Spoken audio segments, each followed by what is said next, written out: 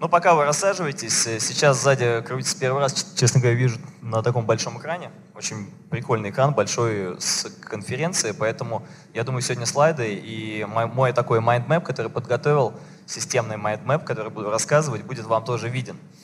А, то, что вы сейчас видите, это один, одна из последних э, квартир самых таких э, необычных, очень спорных и очень интересных проектов. Я его всегда люблю показывать потому что она очень э, вызывает э, бурные эмоции. Да? Кому-то очень сильно нравится, кому-то очень сильно не нравится. Э, говорят, что ужас, ужас непонятно какой. Но смысл в том, что... А кому нравится, поднимите, пожалуйста, руку. Есть? Кому не нравится, поднимите руку.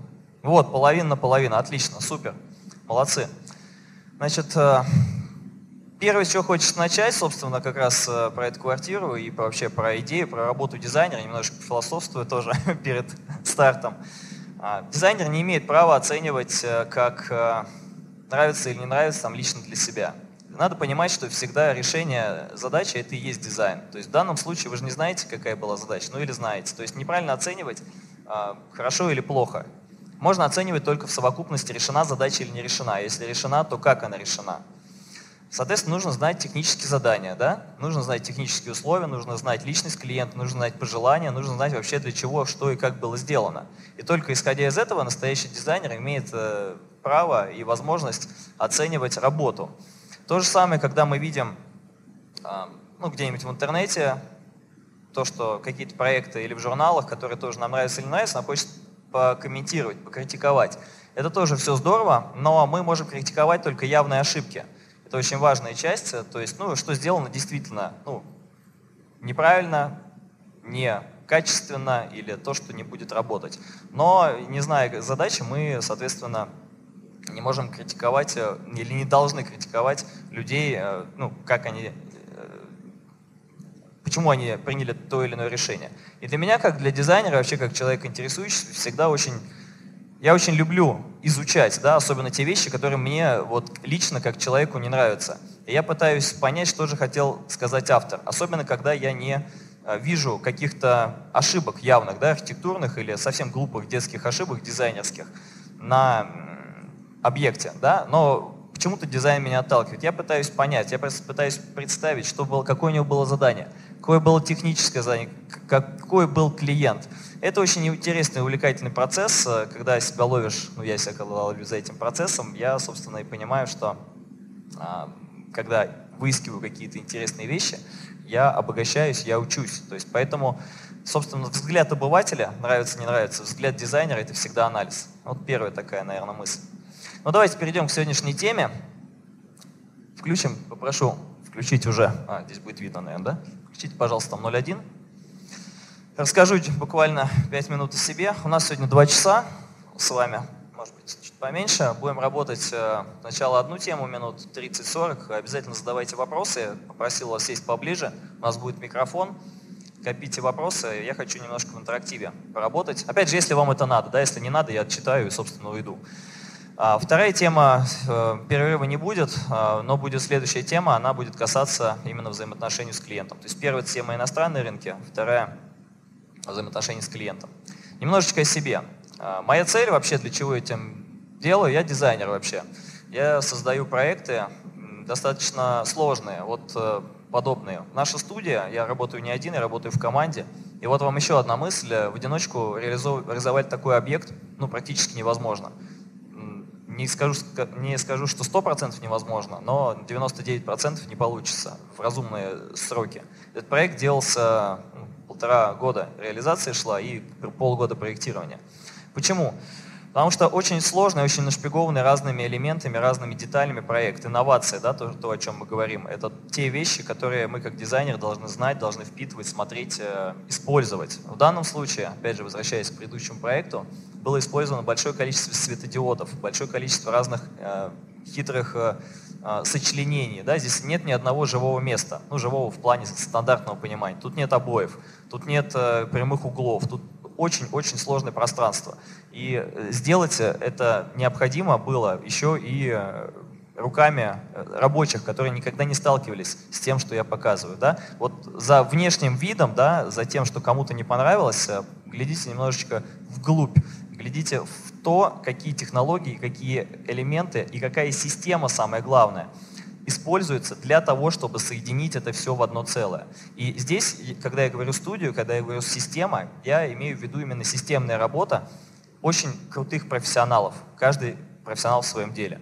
Мы, надеюсь, успеем сегодня об этом поговорить, но ну, не, не то, что э, мы точно об этом поговорим, потому что я разрабатываю сейчас стандарт профессии дизайнера интерьера для Министерства труда. То, что у нас пока, к сожалению, в нашем государстве не существует, но очень скоро будет существовать.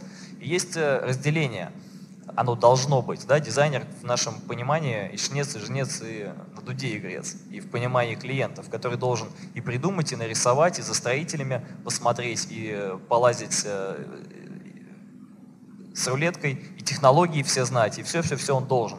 Вот. Но что это за дизайнер, да, особенно если там молодая 20-25-летняя девушка, которая просто э, из-за своего возраста не имеет возможности знать вообще все, что нужно. Да и невозможно знать одному человеку, вот опять же, даже с 20-летним опытом любой профессионал, он э, может себя реализовать только в команде.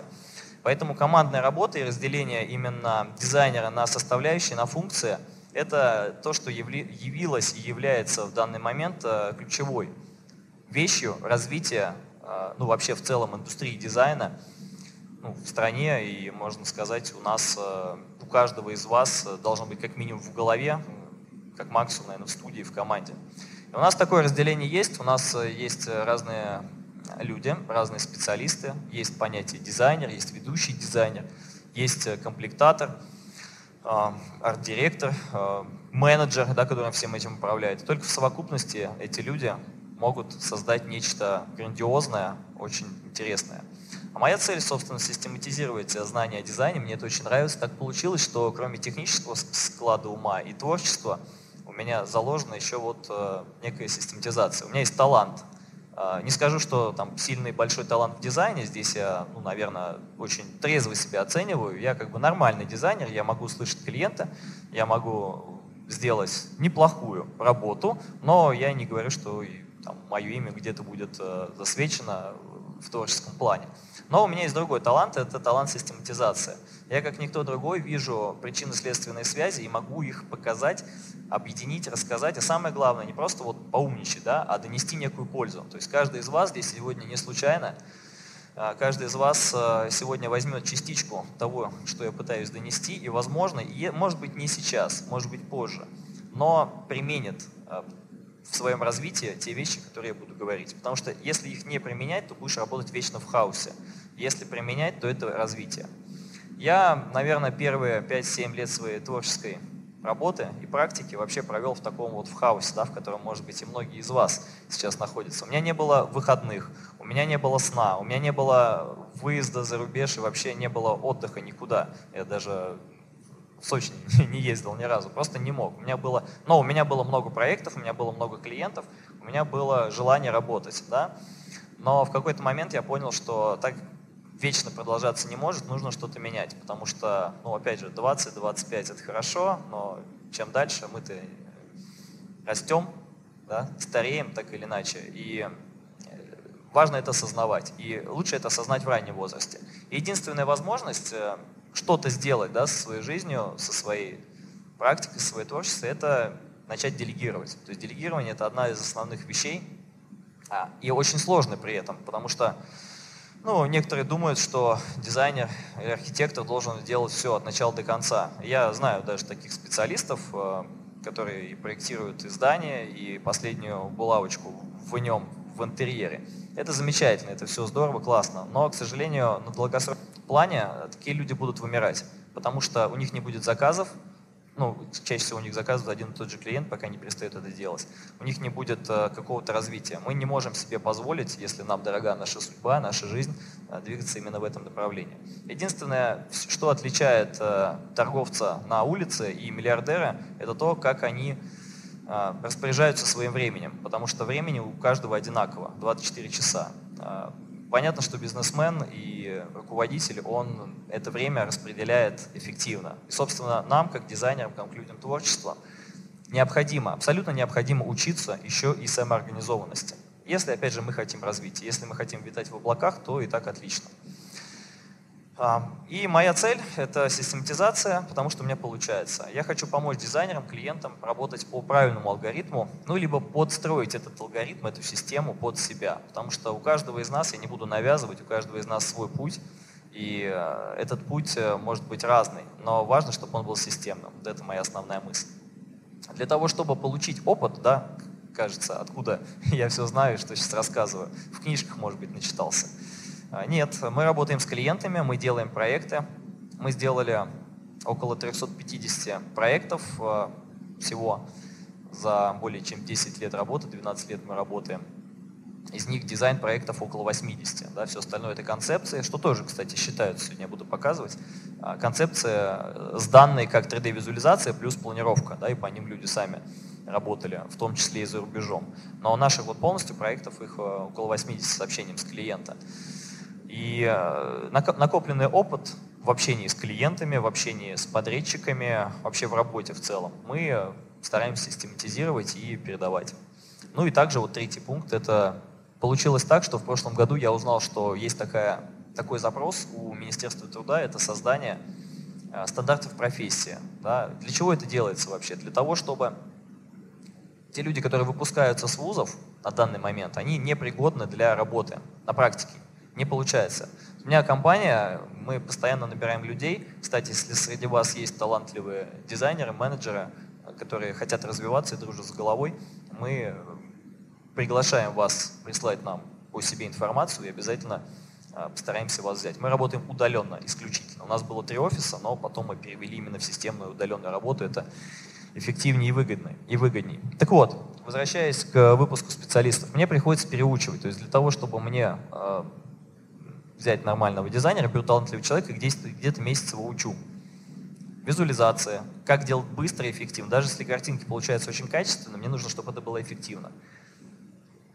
Планировкам. Если даже человек умеет делать хорошие планировки, у него с головой все в порядке, но их надо оформлять так, чтобы следующему человеку было тоже понятно, что он написал, чтобы были, были единые стандарты. Рабочая документация. Вернее, не документация, а именно проекту будьте внимательны, документация это не очень правильная формулировка, она может отослать нас к а, архитектурной документации. Если будут судебные какие-то процессы, будет экспертиза, возможно, будут трактовать по а, документации архитектурной в суде, что не очень выгодно. Поэтому называйте, рекомендую сразу совет практически, в договоре называйте рабочий проект. Рабочий проект может быть художественным рабочим проектом, и может не соответствовать соответств... Э, ГОСТам, но должен, естественно, соответствовать СНИПам и всем нормам. Это, конечно, да. В общем, много таких мелочей, которые всплывают и которые есть, о которых тоже очень важно говорить. А, смысл в том, что каждый специалист должен заниматься своим делом и делать его профессионально. И об этом мы сегодня поговорим. А, немножечко проектов я покажу, что мы делаем, помимо вот этого хитрого сумасшедшего проекта. Вот, кстати, это визуализация, обратите внимание. Сегодня тоже звучала мысль, первый спикер Сергей говорил, что визуализация не всегда отображает, не полностью. Но смысл в том, что она не должна полностью отображать. Пусть она будет разная, но плохой план лучше его отсутствия. Нужно понимать, что ты примерно делаешь. Надо обратить внимание, собственно, то, что получилось, и вот э, уже на строительстве. Ну, примерно похоже, примерно с того же ракурса. Да, там немножко аквариум не тот. Обратите внимание на аквариум. Да, так как мы не технологи, вот это хороший пример – мы не знаем, какой можно аквариум сделать. Ну, то есть можем знать, но у нас нет времени просто на то, чтобы разобраться. Мы не знаем, какой он должен быть высоты. И когда мы проектировали данный интерьер, мы не знали, что аквариум ну, там, не может быть более метра, иначе его очень сложно обслуживать. Ну, просто физически. Хотя мы видели там в каких-то общественных э, местах аквариумы высокие. Вот. Но оказывается, что не может быть, и он еще гнутый. Поэтому вот то, что вы видите на картинке внизу, почти, почти до пола, и то, что в реальности получилось не до пола, в принципе, концепцию это не мешает и не рушит. Но, опять же, мы сумели согласовать с клиентом эту картинку, мы сумели доказать клиенту, что именно э, ну, э, это наш проект, и ему он понравится, он согласился, и мы стали потом воплощать. Не было бы визуализации, как я на пальцах буду объяснять, как эти волны пойдут. Это очень странно. Ну, это некоторые фотографии. Здесь очень хитрое освещение. Да, чтобы было понятно, так как я уже уточнил по ТЗ, да, это, в принципе, как квартира, ночной клуб, да, не для жизни, естественно. У этого клиента все хорошо, у него и дом есть в классическом стиле большой, и квартиры другие. Здесь он именно хотел кайфануть, он хотел сюда с друзьями прийти просто после трудового дня, попеть в караоке с девчонками, пообщаться, собственно, провести приятное время, да, как мы все любим. сделать это в домашней обстановке, а не в каком-то клубе. Вот. И для этого здесь э, все вещи, которые здесь э, сделаны, они, э, собственно, на это указывают. Да? Казалось бы, как в темнице. Почти окон нет. На самом деле окна есть, конечно, ну и даже кухня есть, да, вот окна за шторами. А, но сделано все таким образом, чтобы можно было, да, как в казино, закрыть абсолютно все, и ты не понимаешь, где ты находишься. При этом светодиодная подсветка, я когда здесь находился, и Оникс, да, вот этот. А, по, по фоткам это не очень видишь, но когда находишься именно там внутри, создается ощущение, что ты находишься на каком-то орбитальном таком корабле, да, вот как э, летишь куда-нибудь в галактике. Собственно, это была основная мысль. Мы соединили такой футуристический дизайн, такой биодизайн и как будто подводное морское царство. Не знаю, вот фантазия была на эту тему. Вот, при этом дневное освещение тоже, в принципе, весьма неплохое и симпатичное. Да. Что? Из чего? Да, самый частый вопрос. Кстати, кому интересно, как сделано, есть 20-минутное видео на YouTube, можете посмотреть, я там хожу и рассказываю по квартире. Значит, потолок сделан из каркаса металлического. Опять же, очень хороший вопрос, потому что мы не знали, как мы будем делать. Мы нарисовали, но технологии есть разные. Технологию мы взяли, не технологию, а идею э, этого каркаса мы взяли и показали клиенту у замечательного архитектора московского, это Сергей Эстрин, один из моих первых самых заказчиков. Я для него рисовал очень много визуализаций, когда начинал. Вот. И у него есть подобные объекты, но сделано немножко по другой технологии. Здесь можно было разные технологии использовать, но мы использовали, в итоге победила одна. Победила та, что мы делаем каркас металлический, сетку. А на сетку делаем маленькую сеточку и э, гипсовую смесь. Выравниваем и потом э, специальным составом, в общем, оно как камень, как скорлупа такая получается. Обязательно предусмотреть там э, элемент для светодиодов. Здесь 10 километров светодиодов, да, и, соответственно, мы можем по RGB любой цвет включать в любой комнате. Очень интересно. Но хотя, конечно, ну, жить в этом, конечно, невозможно, но вот как для тусовки очень прикольно. Но также мы делаем и достаточно стандартные проекты. Вот такой деревянный дом специально показал на контрасте. Да? Мне кажется, совершенно обычный проект, который, в принципе, любой из вас тоже может делать. Вот на такие проекты мы тоже приглашаем дизайнеров. Пожалуйста, приходите удаленно, делаем визуализацию, подбор мебели, материалов с удовольствием. А, но это еще не все. Кстати, о пользе визуализации. Вот на этом слайде я расскажу. Вот тот проект, который мы сделали, мы его нарисовали. И вообще я как в профессию попал? Достаточно случайно. Так получилось, что я работал с хорошими архитекторами и рисовал очень качественные визуализации. То есть э, ну, я умел делать картинки. Клиенты не понимали, что это картинки, и заказывали, говорили, можешь сделать? Я говорю, не, я не дизайнер, я только рисую, вы не понимаете. Визуализация это не дизайн, говорил я клиентам. Они меня не слушали. Говорит, да все нормально, я же вижу, что у тебя получается. Нарисуем, получится. Я говорю, ну хорошо, как бы я предупредил. Вот. А, ну и первый клиент попался такой, который был сам, в принципе, технолог, он сделал там тоже ночные клубы разные делал, а, много чего открывал, рестораны, и я ему делал салон красоты и квартиру потом. Вот. И он говорит, давай, ты рисуй, мы вместе с тобой посидим, если надо на компьютере прям в 3D Max подвигаем, построим, а я потом сделаю, и ты присутствуешь, заодно научишься. Я говорю, отлично. Собственно, так вот мы нарисовали визуализацию и по визуализации стали делать. Поэтому это отличный способ ну, я использую визуализацию и построение в 3D вместо рисования рукой. Я рукой рисовать не умею, я не художник, я понимаю, как строятся а, вот эти все схемы, пропорция, точки схода, это я все знаю. У нас в школе есть специальный курс даже по рисунку. Мне просто это не интересно, я использую 3D-модель. Но опять же, это мое, да, то есть люди здесь делятся, кому рукой интересно рисовать, кто-то в голове мыслит, а кто-то в 3D. Вот я из э, тех, из мыслящих в 3D. Вот. И, собственно, вот эти картиночки, да, которые я рисовал, а я использовал их для продвижения. Это одна из основных вещей тоже, которые я всем рекомендую, дизайнерам. Мало сделать хорошую работу. А, мало ждать, когда клиент ее воплотит, а потом вы придете, и вдруг вам посчастливится сфоткаться, да, если он не испортит ее какими-то там аксессуарами или непонятно чем. Хорошая съемка, кстати, денег очень немало стоит. То есть хорошая съемка нормальная от 100 тысяч рублей стоит, ну, в Москве, например, потому что тебе нужно нанять декоратора, тебе надо нанять фотографа, тебе надо договориться с клиентом, чтобы он уехал оттуда, тебе надо привезти туда тучу всяких э, аксессуаров все это расставить. То есть это целый процесс на день, а то и на два дня. Не всегда удается это сделать, к сожалению. Но продаваться-то как-то надо.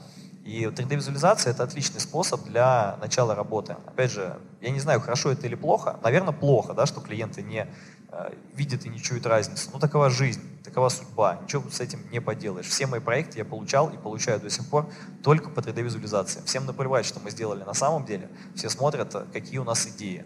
За этим и приходят. Поэтому рисовать 3D-шки очень важно. Если сами не умеете, но научитесь, если вы дизайнеры. А если не хотите учиться, можно всегда делегировать. Сейчас, э, в том числе вот в нашей а, студии, мы передаем проекты, у нас дизайнеры не, им запрещено делать визуализацию, они придумывают идею. Они занимаются тем, чем они должны заниматься. А визуализацию делают нанятые специалисты. Это очень важно. И вот все картинки, которые я сейчас показывал, и которые я буду показывать, делают ребята которые, вот, кстати, у нас же тоже учились, которых я учил и которые выпускались в нашей школе. Поэтому вот передача знаний, мне понравилась сегодня очень мысль, что отдавая знания, ты приобретаешь знания. Это прям вот я себе даже законспектировал, записал, это очень крутая штука. И это действительно так. Так вот, вот этот проект э, пришел по визуализации вот той квартиры. То есть он говорит, я вижу, что там что-то наворочено, но я так не хочу. Мне, пожалуйста, вот тоже навороченное, но для жизни. Мне нужен сложный технический проект, э, хитрый, да, в данном случае высота потолков позволяла, и вот удалось центральную конструкцию сделать. Да.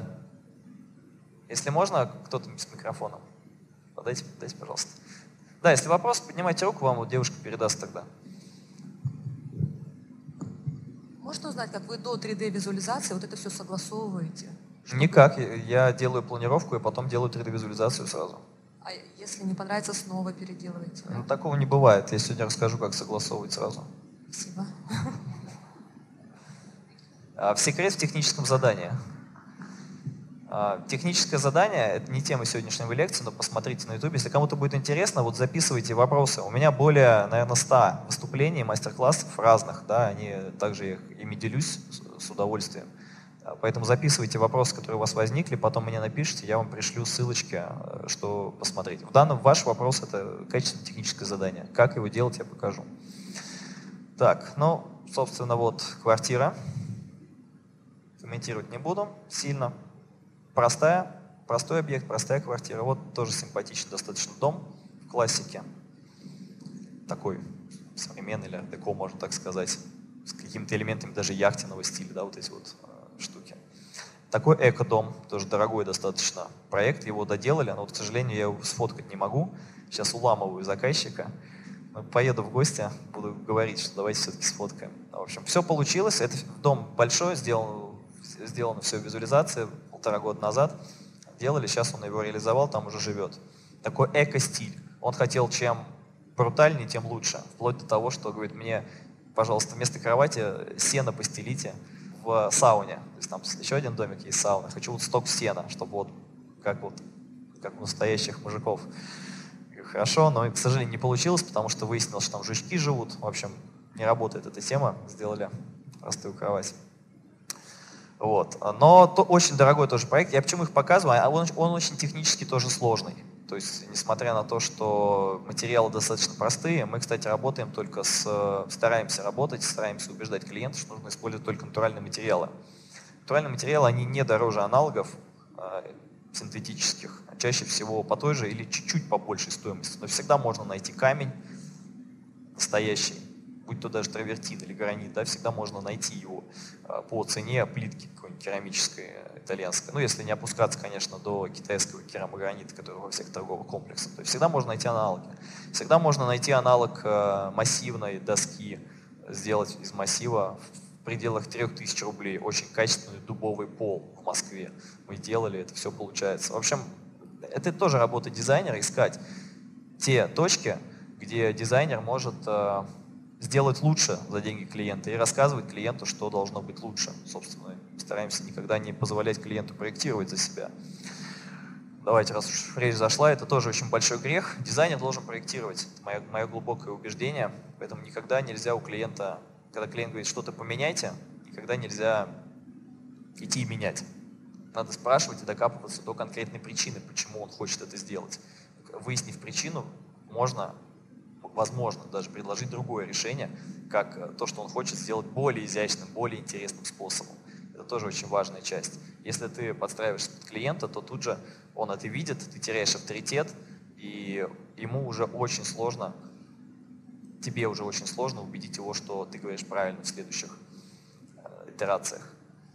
Очень часто клиенты, особенно VIP-клиенты, премиальный сегмент, устраивают проверки. То есть они хотят, они специально спрашивают то, что ты должен ответить не то. Будьте тоже внимательны. То есть они будут спрашивать и говорить, я вот так хочу, смотреть реакцию. Нужно быть непоколебимым, нужно говорить, окей, мы сделаем, как вы хотите, но это будет фигня. Прям так сказать, это будет э, ну, некрасиво, так не делается, и вообще я сниму с себя авторство э, по проекту. Вот, чаще всего успокаивается. Так клиент, конечно, совершенно разный.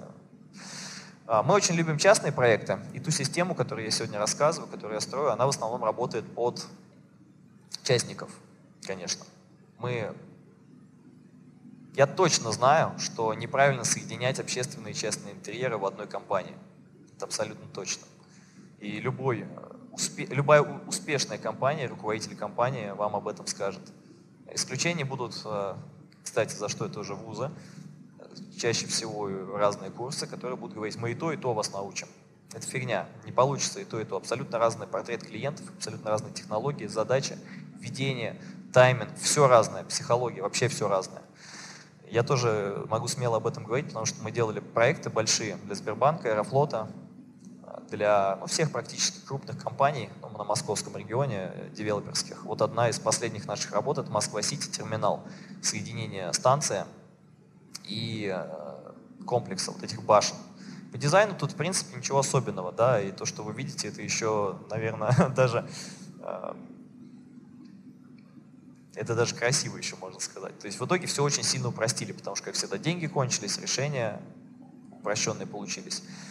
А, но в целом, когда мы делаем интерьеры коммерческие, да, особенно каких-нибудь застройщиков, получается так, что там больше организационной работы, чем самого дизайна. И эта организационная работа именно позволяет э, сделать э, ну, рывок над собой, да, то есть получить более интересные, более какие-то интересные получить не то что связи, а выводы сделать, да, из своей работы, из своей организации. К примеру, вот как бы все не ругали какие-то крупные компании, госкорпорации, но у них очень четко развит э, процесс совещаний, да, и мы оттуда это вытащили применили процесс совещания на маленькую компанию. Это очень чертовско полезная вещь, когда ты раз в неделю решаешь все вопросы, а не каждые пять минут тебя отвлекает твой же коллега от важных дел. И мы вывели именно эти вещи и как-то их аккумулировали и увидели результат. Результат мне очень нравится. Сейчас у меня студия работает удаленно. Каждый из сотрудников замотивирован. Мне не нужно никого мотивировать, то есть мы берем на работу только мотивированных людей. Поэтому мотивация это вообще не про нас. А, каждый получает понятную зарплату, и ему понятно, сколько он должен сделать, чтобы заработать там, фикс, и что ему нужно сделать, чтобы получить проценты. То есть, получается, не я плачу людям зарплату, а они сами себе зарабатывают. То есть такая система, э, созданная и поддерживаемая сама собой, она очень интересная и прикольная. И это получается сделать, если получается внедрить в системе. Вот 10 у нас э, концепций, то, что я должен вам сказать, да, перед тем, как мы перейдем к следующим темам. А, то, что у нас там, работает, и то, что мы видим самым главным в нашей работе. Первое – это дизайн и технология. Да, забываем про творчество, решаем задачу. То есть мы решаем задачу, и в решении этой задачи используем свой творческий потенциал по максимуму, но никак не вперед. Дай-ка я сейчас здесь запулю чего-нибудь. И это системная работа. Абсолютно точно последовательность должна быть. Не отсутствие последовательности порождает хаос. И хаос ведет, конечно, может повести и получится хорошо, но на продолжительной дистанции это как игра в рулетку или в казино. То есть да, ты можешь сорвать куш, можешь выиграть, но в целом в, течение жизни э, тебе кажется, что ты везунчик такой, у тебя получается, до первого вредного клиента, до того момента, пока нас не кинут на деньги, или мы не останемся должны нашим сотрудникам или людям, пока нам не придется продавать квартиру, машину, а, и как-то за это все расплачиваться. Поэтому не, не надо, если, даже если все везет, не надо думать, что ты везунчик. У меня были замечательные первые два клиента, а, с которыми я работал. Первый я сказал, что он меня научил, собственно, как делать. Второй по рекомендации пришел. мы покупали у него светильники, и он говорит, «А, ой, а вы дизайн делаете, давайте-ка тоже делать дизайн. В общем, первые пару клиентов были замечательные, я подумал, ну как классно быть дизайнером, какая профессия замечательная. Вот. А потом пришел вредный клиент. Я ему благодарен на самом деле больше всех. Я очень люблю вредных клиентов, потому что они показывают наше ничтожество. И мое ничтожество, а я думал, что я большой молодец. Я прям был молодой дизайнер, такой вот весь из себя. Вот. А в итоге он меня запорол там такими вопросами, в итоге чуть ли не, я ему не, не должен остался. И по факту он ну, не какой-то кидал его, он мне разложил все по полочкам, всю логику происходящего. И я согласился, что да, я здесь не доработал. Я сказал ему спасибо, э, не взял остаток, отдал ему всю документацию и пошел учиться. Потом у меня еще один был такой клиент, который тоже протестировал мою систему уже на прочность. И ему я тоже очень сильно благодарен, теперь система работает. Так, что мы делаем? Разные стили, сложные проекты. У нас удаленная работа. Четвертый пункт, очень важный. Я хочу, чтобы вы внимательно тоже его как-то поняли для себя. Когда мы работаем, у нас всегда есть разные задачи. Наш, наша задача перед собой, перед самим собой в первую очередь. Что нам важно? Деньги, отношения или репутация? Потому что от этого у нас будет э, строиться и взаимоотношения с, э, вообще самим с собой, с нашими коллегами, с клиентами, с проектами. Исходя из этих трех элементов, мы имеем возможность построить договор и вообще имеем возможность а, ну, выстроить ту систему, которая позволит нам работать. Если нам важны деньги, то мы будем делать все, будем делать даже где-то халтурку, э, чтобы просто быстрее денег заработать. Если нам нужны отношения с клиентом, нам, допустим, хочется сфотографировать проект в конце, то мы пойдем э, даже в ущерб э, там, своим деньгам или в ущерб своим принципам, нам захочется довести до конца и не поссориться. И если нам важна наша репутация, когда мы знаем, как надо, и когда мы хотим делать то, что мы хотим, это нам считается важным. А, важнее, чем деньги, важнее, чем отношения. Да? Доктор должен делать свое дело хорошо и должен делать его правильно, вне зависимости, платит ему от этого, не платят, вне зависимости, будет э, кричать клиент или не будет. То есть это именно отношение к себе. Вот исходя из этих э, элементов, студии и работы у каждого из вас будут разные. Я шел, собственно, по пути. Сначала деньги, когда я вообще не понимал, что я творю. Потом отношения мне хотелось сфоткать и всем понравится. Сейчас репутация. Мне абсолютно все равно, что обо мне подумают. Мне не важно, сколько мне заплатят. Я готов сам доплачивать. Финансовый вопрос решен. Я готов сам доплачивать за проекты, чтобы они получились качественно. Я так делаю. Когда у клиента нет денег, я вижу, я сам финансирую визуализацию, качественный продукт. Потому что мне важно, что я делаю это не просто так, я делаю это для чего-то. Это моя репутация. Мне сейчас это важно. Но до этого стоило дойти через 10 лет практики.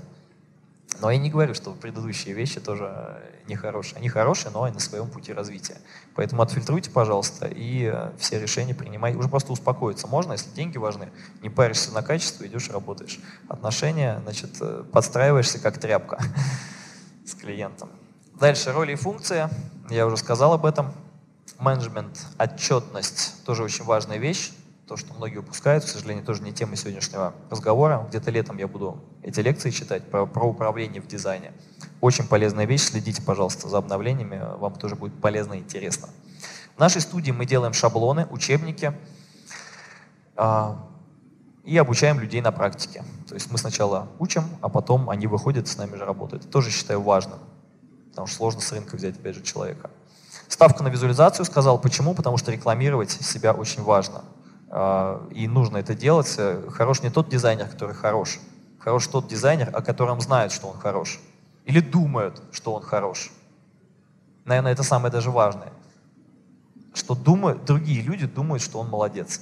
Потому что чаще всего люди не профессионалы, они не могут отличить хорошее от плохое, они могут только распространять свои мысли. Именно за этим распространением мыслям стоит очень великая сила продвижения.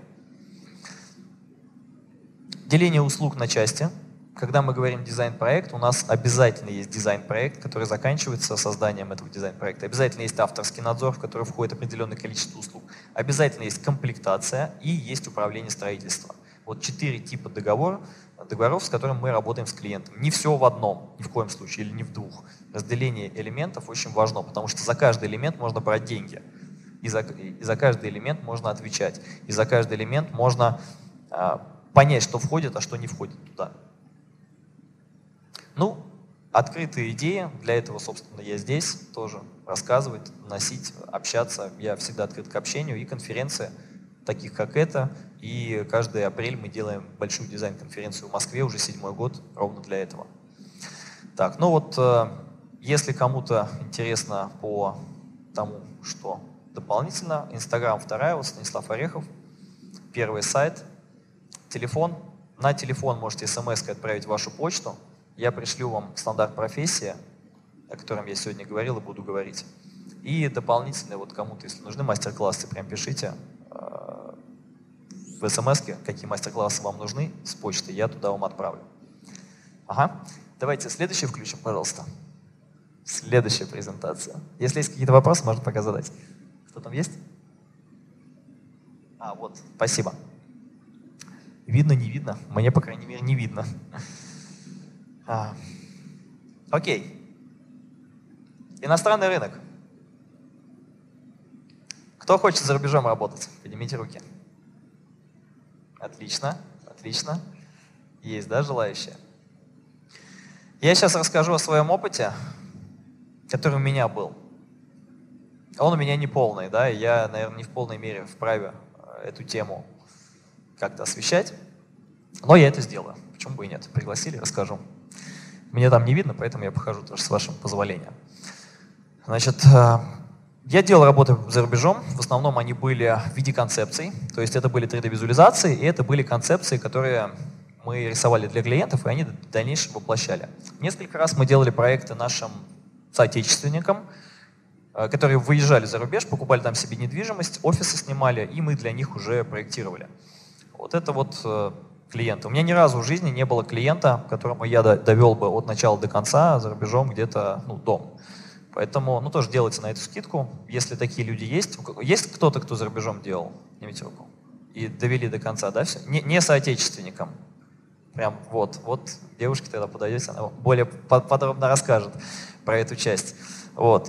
У нас никогда не было задачи продвигаться на иностранном рынке, потому что я не очень хочу работать на иностранном рынке. То есть вот кто-то хочет, я не очень хочу. Но так получилось, что заказы шли и идут иногда. И мы их делаем. Почему бы и нет? Ну, к примеру, один из интересных проектов, который, с которым нам обратились, а, зашел к нам министр рыбного хозяйства, по-моему, Танзания, и заказал у нас концепцию благоустройства через Facebook, Facebook, кстати, увидел картинки, заказал у нас концепцию генплан благоустройства территории. Заплатил за это 10 тысяч долларов. Ну, что неплохо. Почему бы и нет? А, Причем 100% предоплаты. Я сказал, присылайте, тогда будем работать. Потому что я знал, что там будет, э, скорее всего, непонятно чего. Потому что ему работали и делали китайцы, он мне присылал э, эскизы, которые они делали. Я понимал, что там ну, абсолютно трэш какой-то идет, и, скорее всего, он их выгонит и ничего им не заплатит. Я не хотел быть следующим. Поэтому попросил у них э, аванс, сказал, э, что будет входить, и потом сделал ему проект. Э, ну, покажу. На этом, собственно, он взял этот проект, пошел в банки добывать э, инвестирование. Собственно, такие задачи тоже есть, это тоже задача дизайна. Самое сложное в этом проекте было не нарисовать именно, а, что мы, собственно, сделали по дизайну, а именно понять, что он хочет конкретно. То есть вот это чаще всего с иностранными клиентами, которые ходят по рынку а, в надежде, что им кто-то что-то сделает, это очень-очень важно. Итак, общее, да, секретной кнопки нет, есть работа. Поэтому я почему не туда надо идти и работать. Да? Мы принимаем какие-то заказы э, ну, автоматически, а чтобы заказы были системные, с ними надо, ну, ими надо заниматься продвижением. Мы этого не делаем, потому что у нас здесь полно работы, более, более чем достаточно. Нам здесь интереснее и понятнее. Больше возможностей, да. Больше конкуренции, да. Нужно понимание рынка. Клиенты, конкуренты, услуги. Сейчас я об этом буду говорить.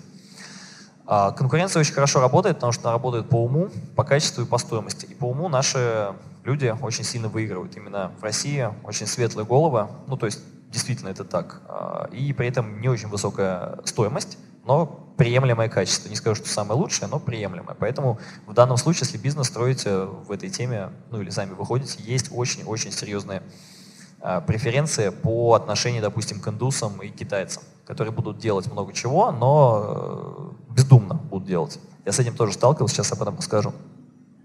Услуги. А, страхи, да, что, э, что я могу предложить? Хочу сказать, что уровень в целом очень низкий. Ну, то есть, если брать э, фрилансеров, то есть, естественно, фрилансеры высокооплачиваемые, есть э, студии, но в целом, если брать вот э, всех фрилансеров, очень-очень странные работы делают, их миллион, очень много. То есть выделиться более-менее приличным проектом э, весьма несложно. Людей очень много, и еще один плюс да, нам и минус людям крутым, то, что они не рекламируются, да, они вы, выкидывают работы и думают, что сейчас к ним клиент придет, потому что они и так молодцы. Но так и происходит. К ним клиент приходит, и они, крутые специалисты чаще всего все время заняты. То есть у них э, и ценник высокий, хороший, и у них есть э, постоянно проекты. Но также есть огромное количество, просто тьма э, людей, которые бегают по рынку и пытаются найти себе исполнителя. Очень много. Как только ты станов... как только пытаешься найти себе сотрудников, ты тут же оказываешься в позиции заказчика и понимаешь, насколько сложно найти хоть сколько-нибудь вменяемого человека. Вот. Точно так же и заказчик. Поэтому э, здесь, здесь в том числе нам тоже плюс большой. Вот. И на средний уровень, соответственно, несложно пробиться. Услуги. 3D-концепция. Что такое 3D-концепция? Это когда нам присылают э, задачу, ну вот вам планировочка, нарисуйте чего-нибудь. Вы берете 3D-модель, и вот как Сергей сегодня рассказывал, вот начинаете ляпать там какие-то скачанные модели. Этот прокатывает. И прокатывает именно на том уровне, то, что вот э, тоже опять же, Сергей рассказывал, клиенты приняли ему сразу, никто не стал там вдаваться, что это, что это за у вас э, за там канилюрчики, да, что это за, за классические резьбы, откуда вы их скачали. Люди не понимают. Надо понимать, где заказчики и где мы. То есть заказчики это не понимают. Если мы, нам важна наша репутация, то мы, естественно, потом это доработаем. Если репутация не, не важна, важны деньги, то мы начинаем клепать вот это вот не пойми чего и отдавать. И это тоже нормально, потому что дальше на том конце сидят технологи, и они продолжат. То есть дальше клиент должен нанять технолога и сделать уже нормально. Поэтому данном случае вот такие визуализации быстрые, они приносят очень хорошие быстрые деньги, но нам нужно обязательно сказать клиенту, что это концепция, да, что это вот не прям бери и делай. Мы делаем это быстро, а клиент должен дальше работать. 3D-визуализация и анимация. Но это отдельная тема. А, особенно сейчас она очень сильно актуальна, потому что сейчас визуализацию можно делать дороже, чем у нас дизайн, ну или у вас дизайн. Сколько средняя цена дизайн-проекта, скажите мне? В городе Красноярске. Средняя цена какая? За квадрат? 1200. Ну вот, визуализацию, визуализацию можно делать примерно, если вы сами нашли клиента, за эти же деньги. Только визуализация. Да? Поэтому это выгодно, в первую очередь. Особенно, если вы делаете где-нибудь для Германии, для Великобритании, там одна картинка стоит 1200 евро. И я таких картинок много сделал я знаю, о чем говорю. То есть, но надо найти заказчика и с ними работать уже э, важно именно на их языке, именно системно. То есть там вот ну, не пройдет э, какой-то хаос. Вот они это очень ценят, очень любят. Вот, поэтому, опять же, я не призываю вас делать визуализацию, у каждого это свое. Я визуализацию не делаю, сколько бы за нее не платили. Я уже отошел от этого. То есть мне это не интересно тупо сейчас. Я именно делаю проекты, да, за них эм, на них можно меньше денег заработать даже в Москве, чем на визуализации на мировом рынке, естественно. Но просто призвание такое, тут уж ничего не сделаешь. То есть ты должен делать то, что тебе нравится в первую очередь. Но раньше я на визуализацию очень много денег зарабатывал, собственно, это и стало там моим начальным капиталом, да, который позволяет сейчас мне о деньгах, в принципе, сильно не думать, не беспокоиться. Вот. Ну и навык, конечно, появился, получился, и насмотренность, умение работать. Когда делаешь визуализацию, ты работаешь с качественными архитекторами. Это, кстати, тоже очень важно. Делая визуализацию, очень важно брать хорошие качественные проекты. Да, тогда в вашем портфолио будет пополняться интересными проектами, а люди как я рассказывал, не понимают, вы делаете это или не вы. Велика вероятность, что вам закажет дворец какой-нибудь делать, если вы сделаете кому-то визуализацию. У меня так было. То есть я делал 1500 метров дом, потому что просто клиенту сделал красивую визуализацию. Ну вот так получилось. При этом он выгнал итальянского архитектора, который руками рисовал. Лучше я итальянского архитектора или хуже? Конечно, хуже, да, я как новичок, да, совсем. Но в эволюции это не интересно никому. То есть выигрывает, деньги получает тот, кто лучше доказал. Это несправедливо, но ничего не поделаешь. Итальянскому архитектору не повезло в данном случае. А, так. А, вот, да, страхи, не найду клиента. Ну, вот, собственно, об этом рассказал. Услуги рассказал, клиенты. Вот будьте здесь внимательны, давайте это прямо отметим. Есть частные клиенты, соотечественники. А, они заказывают дизайн-проекты. Есть э, архитектурные и дизайн-студии. В них мы можем быть э, фриланс-дизайнерами. То есть э, работать у них в их системе. Нужно быть готовым подстроиться под систему. Это работает, и их можно найти. То есть если частных клиентов найти сложно, да, они в интернете не болтаются, они сами нас выбирают, ищут, то у студий дизайнерских, архитектурных есть каталоги. Да, можно взять каталог дизайнеров или студий архитектурных там, Милане, в Италии, в Париже, в Германии – а, и по ним прям бомбануть, да, прям целенаправленно им писать, сказать, я вот делаю, пожалуйста, вот у меня стоимость такая-то, почему нет? Потому что они платят там в разы дороже себе. Дальше. Самостоятельные менеджеры. Вот здесь э, стоит э, быть очень внимательным. Есть две категории самостоятельных менеджеров. Есть самостоятельные менеджеры, которые знают, что такое менеджмент и умеют работать. Они начинают искать по рынку. Как правило, у них есть какой-нибудь VIP-клиент, да, и э, им нужно сделать дизайн. Они же хотят денег тоже заработать, они не будут, не хотят дорогого брать дизайнера. Они ищут в интернете кого-нибудь, так как в дизайне они сильно не разбираются или разбираются, но хотят подешевле. И есть вероятность, что они наткнутся на вас, да, если вы выставляетесь и закажут у вас проект. Так вот, есть профессиональный менеджер, который знает, что это такое. Они очень клевые ребята, мы с такими очень много работали и сделали тоже много денег и много проектов и по концепции, и по визуализации. Есть непрофессиональные, те, кто вот начинает. И их стоит очень сильно опасаться. Потому что, как правило, денег вы там не получите, а, они завалят проект ваш, даже если он хороший, по-любому, потому что они не смогут его правильно презентовать, не смогут правильно собрать обратную связь, и не смогут э, взять у клиента деньги. Вот э, встречаются и первые, и вторые, очень важно их отличать. Э, и бояться вторых, сразу прям отказываться сотрудничать без предоплаты. А первых, наоборот, любить и жаловать. Так, следующее. Менеджер агентств. Все то же самое, но это уже в агентствах. Они сами, как правило, нас ищут. Девелоперы-застройщики. Ну, их тоже можно найти и им написать. Как правило, это типовые квартиры да, строится много какой-нибудь комплекс и э, делаем квартиру. Еще очень хороший элемент, когда некоторые дизайнеры и архитектурные студии, они участвуют в конкурсах. Так вот, чтобы сделать уча участие в конкурсах стоит денег. Итальянские дизайнеры мне рассказывали, допустим, чтобы э, конкурс выиграть, они скидываются с партнерами, 100 тысяч евро примерно они платят. Ну, какой-нибудь стадион строят, да, допустим, или к Олимпиаде какой-нибудь, или какое-то новое здание. И им важно показать, конкурсный проект. Там 80-100 тысяч евро они потратили. И чтобы это все предоставить, им, естественно, нужны и дизайн-проект квартир, и визуализация. То есть очень много чего, такая подготовительная информация. Вот и к ним тоже можно пристраиваться. Я спрашивал, сколько они платят за картинки. 500 евро они платят за э, картинку. Поэтому вот бюджет у них есть, пожалуйста. И таких много, да, в конкурсах все участвуют. А, вот э, подсказывают, и я на самом деле знаю, да, вот э, людей, которые дизайнеров, которые работают с иностранными клиентами, ну, с частниками. А как вы, как вы тут нашли, расскажите, интересно. По рекомендации, да, то есть э, кто... А рекомендовали русскоговорящие? Нет, тоже? А, ну понятно. Окей, ну не считается, нечестно. Но жили в Германии, там связями обросли, и вдруг проект. Да-да-да. А, Еще посмотрите, пожалуйста, у нас есть выпускницы, а, я обучаю дизайну, у нас есть Ольга Меркулова, а, вот они с коллегой тоже у нас обучались, и они делают сейчас тоже проекты за рубежом. У них есть история, у нас на сайте расположена, почитайте, они вот им удалось тоже как-то там выйти, и они работают сейчас в разных городах Европы. Поэтому прям делают квартиры.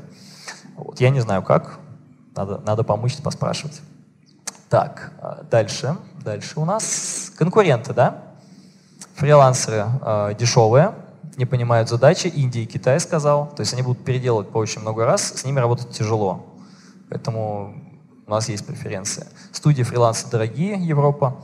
Украина очень-очень-очень серьезный рынок, очень качественные ребята, очень крутой дизайн, прям молодцы. Украина очень творческие, но они такие э, раздолбаи, скажем так. Очень.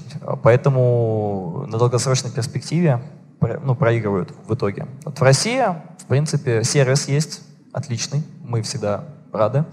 Недорого и есть таланты. То есть если в России поискать именно талантливых ребят, э, готовых работать именно системно, то это очень долгосрочное сотрудничество. Поэтому очень-очень рекомендую. Страны. Ну, перечислять не буду. Все видите? Все видят? На что сделать упор? Качество, 3D. Уже много раз об этом говорил, но это действительно важно. Это наше лицо. Мы должны предоставлять э, то, что мы делаем, в лучшем виде и тратить на это даже какие-то свои собственные средства. Чтобы быстро заметили нас, нужна ниша, то есть выбрать что-то определенное. Сейчас, к сожалению, уже очень тяжело все для всех делать. Раньше это можно было, когда я выходил на рынок, вообще не было понятия как визуализация. То есть можно было делать вообще все, что хочешь.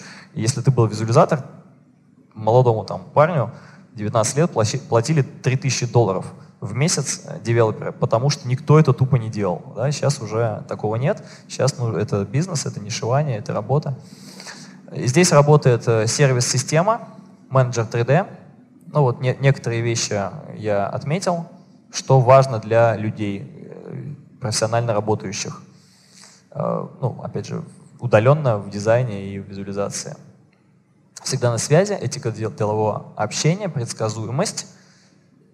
Просто картинка не нужна без сервиса. Очень важно читать чертежи и дорабатывать дизайн, если вы видите на той стороне что-то не то. Помогать сформулировать задачу очень важно, если обращается к нам клиент без агентства, именно клиент, потому что многие, опять же, не понимают, что визуализация — это не дизайн.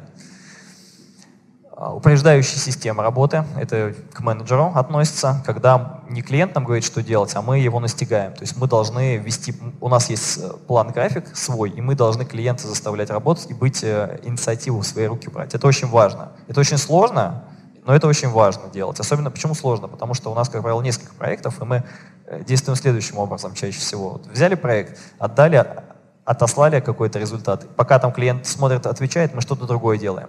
А это неправильно на самом деле. Надо его гнать и заставлять быстрее работать. Быстрее будут делаться проекты, а, будет внимание наше к клиенту, а, и клиент не сможет ну, какие-то там с дурными мыслями к нам прийти.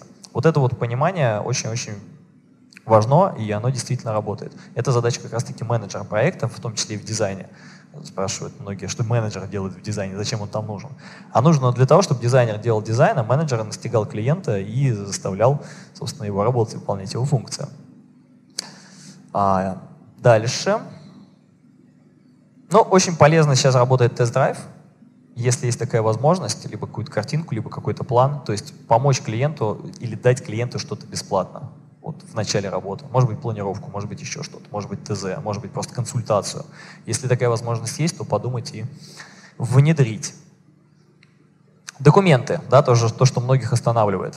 Как подписывать договор? Договор подписывается просто печатаешь, подписываешь, сканируешь, отправляешь. Все, больше ничего не нужно. То есть по почте, конечно, можно, но никто никогда, я ни разу в жизни это не делал. Я всегда подписывал электронно, фоткал, отправлял, и мне также отправляли.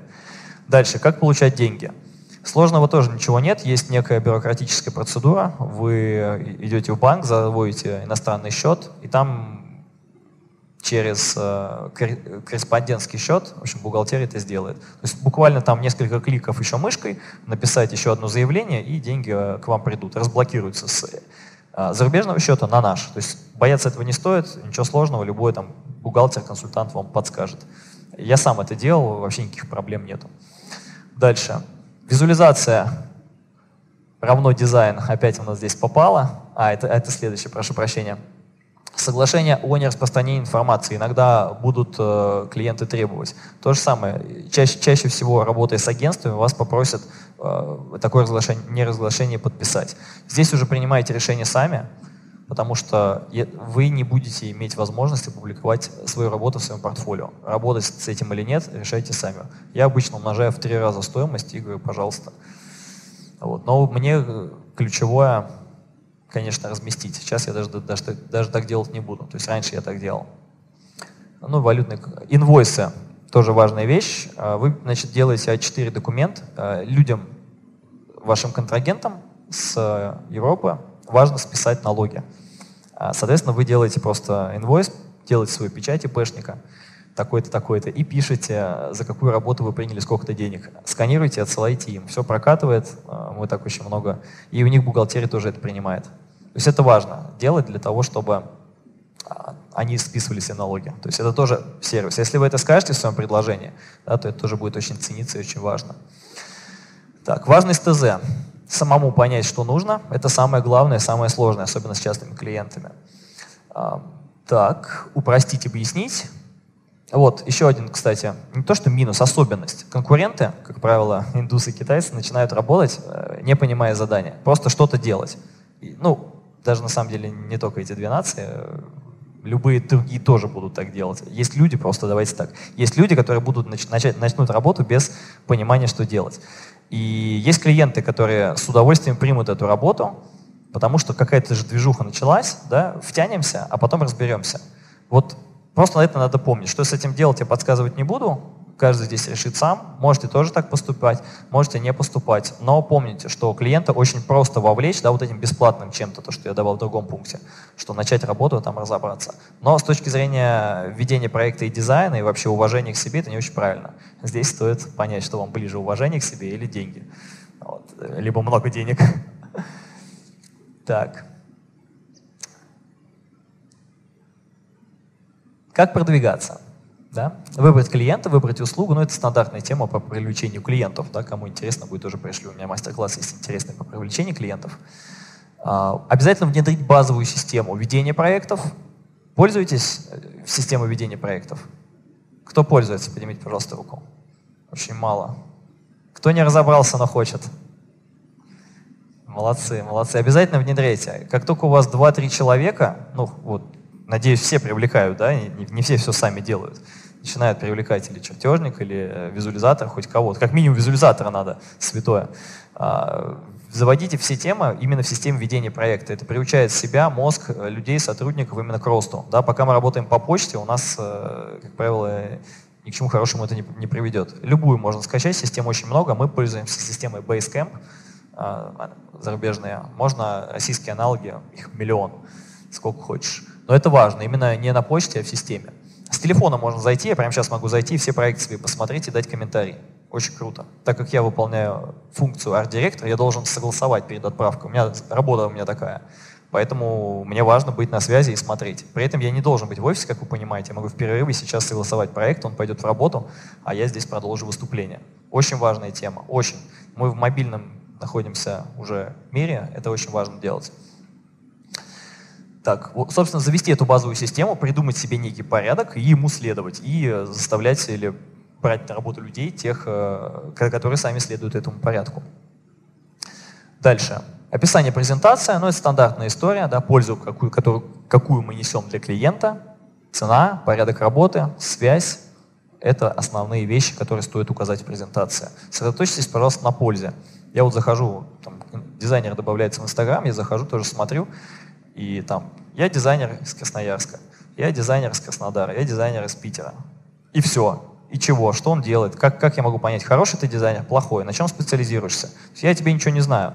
Вот э, я как клиент, э, кликая э, дизайнеров, да, я не понимаю. То есть, а, еще я не разбираюсь сильно в дизайне, да, я как бы, ну, эта картинка, эта картинка хорошая. Я, я нюансов не вижу, да, те, которые мы видим как дизайнеры. А как я пойму, кого мне выбрать? Никакой специализации. Напишите специализацию в профайле, это очень важно. Делайте современные интерьеры, классические, сложные проекты делайте, да, например, необычные, ну, опять же, необычное плохое слово, непонятно. Ну, в общем, какую-то специализацию нужно. Ну, да. Вопросы? Да, давайте посмотрим немножко проектов. Сейчас, если какие-то есть. А, там есть кто-то? Там примеры включите, пожалуйста. Ага, вот пример. Несколько проектов я взял с собой. Кликать, кликать, кликать. А, это вилла. Мы ее делали на Кипре. Здесь уже вилла существующая. Клиент нашел меня в интернете, тоже обратился, купил билет, я приехал на самолете, все обмерил, посмотрел. Вот у него была такая пристроечка и сама вилла. Мы изменили полностью фасад, а, сделали внутренний дворик. А, ну, в общем, такой вот, перевернули ее, сделали немножечко такой более восточный. К сожалению, там других видов нет. На сайте есть этот проект, а, ну, интересный. Вот, отдали. Как дальше происходит? Дальше клиент взял нашу концепцию, наши чертежи и отдает местным архитекторам, потому что мы не можем проектировать там. Там должны проектировать только архитекторы местные. Вот он им это отдает, эту нашу работу отдает как техническое задание, и дальше он, они уже воплощают и э, строят. То есть мы, в принципе, здесь дальше уже не нужны. Если какие-то вопросы вызыва... Э, возникают, то клиент спрашивает нас по электронной почте, э, присылает фотки, а мы отвечаем. Так, а что-то мне не кликает. Можете следующую? А вот интересный проект. Вот это реконструкция старого здания. Это в Канах находится, прямо на первой линии. Очень клевый, крутой проект. Это Провансаль резиденция, отель. И э, его, его сейчас делают реновацию. Да? Мы делали э, самое, бассейн, ну вот эту прилегающую территорию. То есть это все нарисовано. Мы здесь э, вписывали все эти элементы в существующую историю и рисовали вот эту вот современную э, концепцию к классическому или такому кардекошному дизайну. Тоже здесь было много разных комнат, э, интересный проект, но его, к сожалению, так и не построили. Из-за кризиса в 2009 еще году он до сих пор заморожен, и ничего там не происходит. Хотя вот эту вот нижнюю штуку построили, вот эту колоннаду. Я туда ездил, там ходил, ну прикольно. Следующий. Следующий включи, пожалуйста. Ага. Так, а вот, кстати, тот проект в Нигерию, который мы рисовали генплан. Да, тут даже до визуализации не дошло. А, мы, но это, очень, кстати, очень клевая работа, потому что а, клиент у нас купил в том числе и э, проект одного здания, мы делали в Сочи. Он не пригодился, тоже из-за кризиса закрыли, но мы этот проект э, Дворец Алых Роз называется. Белых роз, прошу прощения. Очень интересный тоже проект, он вот там вот в пике стоит. И развили такую вот архитектурную концепцию, где дома, таунхаусы, вот с этой штукой и с изысканиями, там все тех, технические изыскания, он пошел в банк. Естественно, мы это все перевели, и он пошел искать инвесторов. Следующее. А, вот и тоже проект интересный, это в США. Клиент обратился, говорит, у меня есть дом, участок, а, мы хотим построить. Вот примерно, что мы хотим, описал. А, вот в 2011 году мы сделали 3D-проект, ну, архитектурный такой. А, у него была задача, собственно, концепцию сделать, а дальше он... Мы решили, что он пойдет к местным архитектурным компаниям и закажет вот этот вот лепной декор весь. Ну вот то, что вы видите, это то, что мы напроектировали, и то, что получилось, это уже фотографии из Google Maps. Этот дом они продали за 850 тысяч долларов. А мы делали здесь и интерьер, и экстерьер. Интерьер, к сожалению, я не видел, как получилось, а вот экстерьерчик есть. По-моему, все.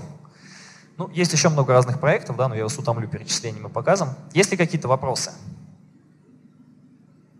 Так, давайте. Концепция. Чем концепция отличается от проекта? Ну, концепция — это общий вид, то есть вот э, в данном случае 3D-визуализация. То есть да, она начерчена, но без деталей. То есть э, эскизный проект, можно так сказать. Но, в принципе, там особого проекта нет. Как правило, это планировка, если это интерьер, и 3D-визуализация. А, либо, если это фасады, то это, соответственно, фасады без э, деталей, узлов а, и, опять же, 3D-визуализации, которые показывают, как что нужно сделать. А, плюс э, может быть пояснительная записка, где мы рассказываем, как реализовывать этот проект, где у кого что можно заказать, на что стоит обратить внимание, где точно не стоит экономить, а где там, можете сэкономить наоборот. Давайте. Микрофон где? Здесь? Давайте. А вы поднимайте заранее, чтобы пока человек говорит, можно было понять, куда носить.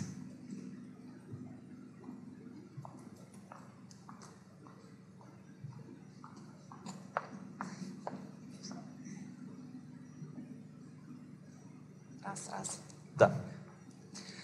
Э, Станислав, у меня такой наболевший вопрос. Э, вы вот сказали, что там около 7 лет работали там, без э, перерывов на да. кофе, обед и без выходных и так далее, по 14-12 часов в сутки. У меня такая же ситуация.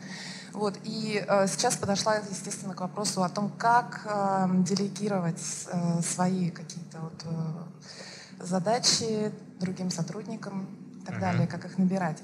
Вот. Э, я запуталась в этом вопросе, потому что я не понимаю, вот когда к тебе идут э, в течение 10 лет, как там к Иванову и Иванне, например, э, как другим э, людям, другим дизайнерам делегировать свои мысли, клиенты идут, репутацию, да? да. Вот, и клиенты, причем идут именно по сарафанному радио в 90%. Да. Вот. Каким образом э, не потерять вот, э, вот эту марку, так сказать, передавая какие-то полномочия, там, тоже разработку идеи другим дизайнерам, другим сотрудникам? Спасибо. Ну, это очень хороший вопрос. На него есть ответ. Да? Частично он будет в следующей нашей части. Кстати, пока можно включать следующую часть, пока я буду отвечать. Что там у нас?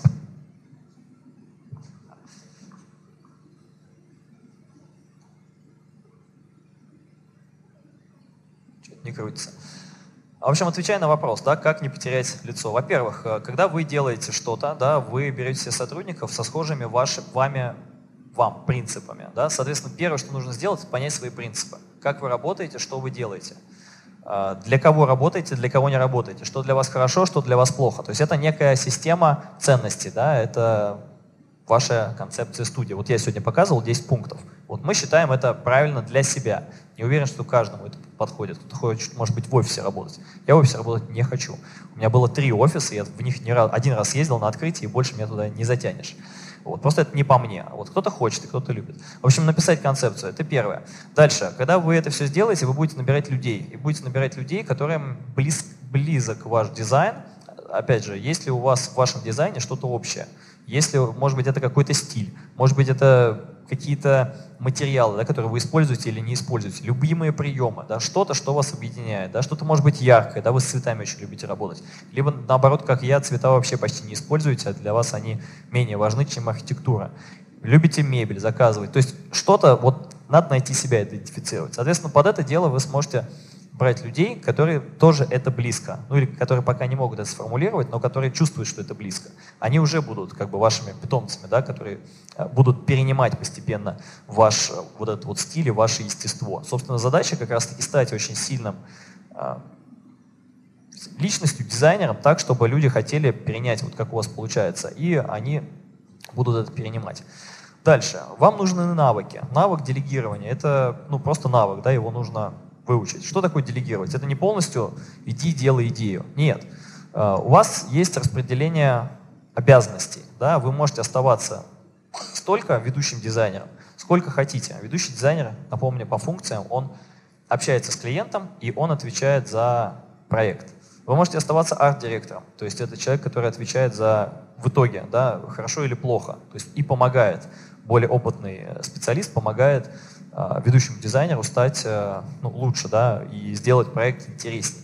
Вы можете быть на любой из ролей, вы можете быть дизайнером. Дизайнер — это тот человек, который делает а, непосредственно, который делает планировку, черти, да, кто придумывает э, сам дизайн, кто делает комплектацию. То есть вы можете занимать ту роль, которую вы хотите. А если вы уже имеете, если вам она точно понятна, и вы можете ее описать, значит, вы можете ее делегировать. В данном случае создание планировки. Как делегировать? Чтобы вы там остались. Вам нужно собрать техническое задание у клиента, понять, что он хочет, и написать это такими словами в задание человеку, чтобы он это прочитал и понял, и сделал бы так, как вы бы сами это сделали. Дальше он сделает как? Естественно, неправильно он сделает, правильно же? Он делает не то, и придется переделывать. Так вот, надо бить себя по рукам, и не надо переделывать. Надо указать человеку, что вы считаете, что сделано не так, и если он умный, он научится. С одного, со второго раза. Если он дурачок и не захочет учиться, вы его выгоните и возьмете нового. Один из 20 сотрудников будет хороший ваш. Поэтому тут время и упорство. Мы поступаем немножко по-другому. У нас тоже встал вопрос делегирования. Для этого, собственно, мы открыли обучение. Мы людей учим сначала, ну, то есть они проходят курсы за деньги а потом лучших оттуда берем. То есть они уже подготовлены, нам не нужно их учить. Мы вот так хитро поступили, можете так же поступить. То есть мы учим делать визуализацию, как бы я сам сделал, потому что я оцифровал, выписал все свои технологии, все кнопки, которые я нажимаю, и э, системно передаю людям. Также по дизайну. В какой-то момент я понял, что и дизайн можно делегировать, также делать. И а почему-то меня не нажимается. Станислав, а можно еще вопрос? Да, давайте. А... Там есть кто-нибудь? Вот у меня тоже такой вопрос. Ну, вообще, я тоже давно занимаюсь дизайном. Не вижу, где вы? Я а, здесь. А, вижу. Вот, и я поняла, что да, действительно, это занимает очень много времени и сил, и тоже были бессонные ночи. Я поняла, что нужно делегировать, и начала уже работать с людьми, начала привлекать к себе людей, исполнителей. Но я столкнулась с такой проблемой, это сроки. Для наших заказчиков это очень важно – то есть если я раньше могла одна вести там два-три проекта, да, и обговаривать сроки, я успевала, то здесь я столкнулась с такой ситуацией, что меня начали просто подводить по срокам. У вас частные клиенты или общественные? Частные. С частными проще. То есть, да, вы правильно заметили, сроки возрастут. Как только делегируешь, естественно, ты сделаешь быстрее, потому что у тебя в голове одновременно все этапы присутствуют, тебе не нужно их между собой соединять. Естественно, э, там минус в том числе и наша студия, это сроки. Мы никогда не говорим, что мы быстро все сделаем, но мы сделаем качественно. Соответственно, вы либо меняете тип клиентов, Понимаете, да, о чем речь? То есть тем людям, которым важно. Либо психологически учитесь им говорить, что ничего страшного, здесь вот ну подольше, но зато по качественнее сделаем. Это такая работа уже. А, то есть если это частники, то и им не горит переезжать, потому что они квартиру снимают, да, вот это самое такое непонятный тип клиента, и для них зачем дизайн? Им ремонт нужен, дизайн не нужен. Если людям реально нужен дизайн, да, за который не стыдно заплатить, который не стыдно людям показать, я надеюсь, вы такой делаете, вы всегда сможете объяснить, что вот здесь вот мы улучшили, и это будет, ну, то есть сейчас еще месяцок потерпите, но тоже будет на уровень лучше, да, он жить всю жизнь. Как правило, нас, ну, слушают. Хотя, конечно, всегда получается, сроки, сроки всегда затягиваются. Это могу точно сказать, это минус работы в системе и минус работы в том числе и с нами, наверное. То есть проект Бывают быстрые проекты, бывают, но они не системные, и они идут вот как бы вот, вот быстро надо и сделать. Но это не то, к чему мы идем. Мы все-таки идем к тому, чтобы наша работа на проекте занимает два месяца. То есть это 45 рабочих дней, это наше время. Плюс к этому время на согласование. Таким образом, проект растягивается от двух месяцев, это самый минимальный срок, до шести где-то. То есть стандартный проект 3-4 месяца, потому что клиент половину времени думает половину времени меняет какие-то решения. Ну, то есть вносит комментарии. Что с этим делать? Только объяснять, что так будет лучше, и только объяснять, что пока вы думаете, мы стоим. А вам еще что делать, чтобы, ну, собственно, держаться, да, то есть параллельно проекты брать и повышать уровень клиентов. Как только вы делаете студию, вы на студии ну, не прокормите самостоятельно, а, если будете дешевые проекты делать. А, больше, лучше, повышать качество, культуру, то есть это все очень важно. А еще такой вопрос. А как с исполнителем тогда поступать, если он затягивает сроки? В смысле? Ну, если он контракт не выполняет свой? Или что? Да, да, Вы, да. Выгоняете его к черту и все. А как, что с ним делать? Ну как, если в булочную не вышел пекарь работать, и все стоят, ну как его выгонят завтра, возьмут нового. Вопрос, где взять новых? Это другой вопрос. Да, да. да, это другой вопрос. Но вот я сказал, мы решили это через обучение. Мы всех не берем, ну, как бы берем лучших. Заходите на наш сайт, смотрите в разделе «Выпускники», может, кто-то вам там...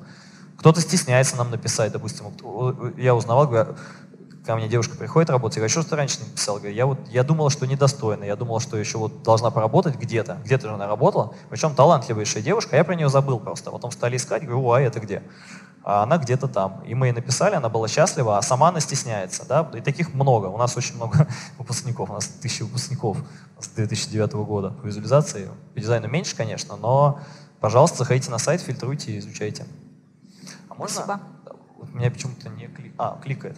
Э, да, сейчас э, еще подождите секундочку. Кто, кто хотел вопрос задать? Ага. Да, давайте. Сейчас, пока вы идете, буквально, собственно, ответ тоже на вопрос. Смотрите, мы разрабатываем сейчас профессиональный стандарт, о котором я говорю. Это разделение дизайнера на разные функции. Этот формат, он диктует, ну не мы его придумали, так получилось, что формат, который диктует государство, оно, в принципе, подпадает под то, что мы делаем. Сейчас мы это все оцифровываем, и здесь вот есть термины, да, здесь вот, это еще в работе, ну, буквально мы сейчас дорабатываем, наверное, месяц-два, и уже будет это приниматься. Вот. Но вы тоже можете принять участие, да, если хотите, прочитать это все внимательно, внедрить у себя в компанию или э, начать думать в этом направлении, прислать мне комментарии, эти комментарии тоже учтутся, ваши комментарии тоже учтутся к этому всему. Если вы с чем-то не согласны, с чем я говорю, если тут э, то, что написано, вам чем-то не нравится, можете все внимательно почитать. Ну, к сожалению, тут 150 страниц, но я бы рекомендовал это сделать. Это итог нашей десятилетней работы, это вся информация, весь э, там, мой опыт выгруженный вот, собственно, сюда какой-то вот такой пока полуофициальный формат. Так вот, у нас есть разные функции, вот наверху смотрите, да, ведущий дизайнер, разные функции. Что он делает? Какие у него знания должны быть, навыки, умения, видите, меняется, знания, трудовые действия, что он делает. И здесь вот все элементы по каждым из должностей, они прописаны. Вот это все ведущий дизайнер. Дальше мотаю, менеджер дизайн проектов. Соответственно, то же самое, все, что делает. Вот это все, если внимательно прочитать, проанализировать, то немножечко в голове что-то перевернется. Кто бы хотел вот это вот получить? Я вам э, пришлю на почту все то же самое. В конце будет э, информация. Скинете, что я хочу стандарт, напишите в смс. Я вам скину понедельник после моего приезда в Москву. Мне будет очень интересна ваша реакция и э, ваши ответы, если вы удосужитесь ознакомиться. Пожалуйста, спасибо. Станислав, спасибо, вы опередили. Это был мой вопрос. О, супер! А, а может еще что-то? Прокомментируйте тогда, как вы Ну, думаете? прокомментировать. Я просто хочу сказать, я директор Института архитектуры и дизайна Сибирского федерального. А вы мне Вот. скажите вот по-честному, так по чесноку, я фигню говорю или нормально? Нет, нормально все. Есть моменты непонятные, но это мои проблемы. Вот, а что касается стандарта, просто сейчас, ну, как бы тенденция, эти стандарты, уже много написано их по э, Министерству труда. Э, я завидую вашей смелости, что вы взяли на себя вот такую ношу, Да, спасибо. написать за Мы всех... целый за год все- занимаемся. ну, вот вопрос только касается, кто пишет, кроме вас? Вот вы один.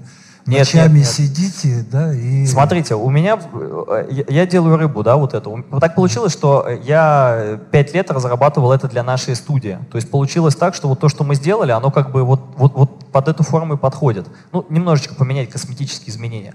Дальше технология такая. Я с дизайнерским сообществом общаюсь и должен это согласовать. Поэтому я, собственно, всех и призываю, да, то есть и вы в том числе. Пожалуйста, прочитайте, посмотрите. Все, кто, к сожалению, мало, ну, многие загораются, сейчас примут что-то без нас, сейчас вот там напишут, а нам исполнять.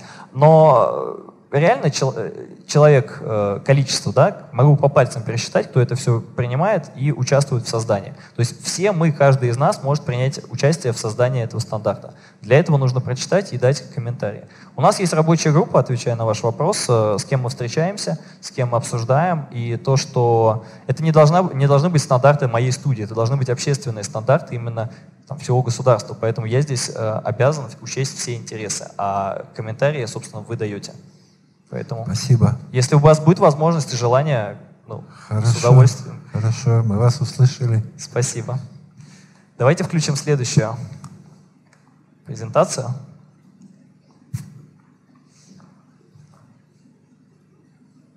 Ничего, не устали? Нормально? Сейчас еще чуть-чуть помучаю. Я вот прям сегодня хотел вам дать прям полезности, полезности. Поэтому подготовил тоже презентацию по согласованию. Очень важная часть. Ага. Так. Видели такую? Нет еще? Свеженькая. Не видели такое? У нас 30 минут осталось. Я думаю, успеем.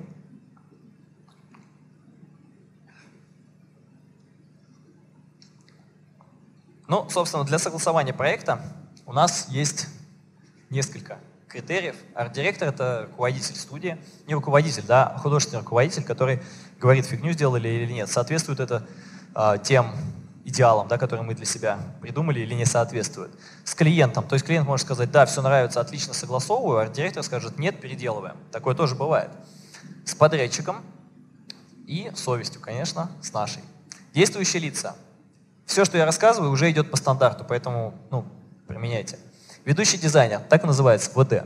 Ведущий дизайнер общается с клиентом и согласовывает проект.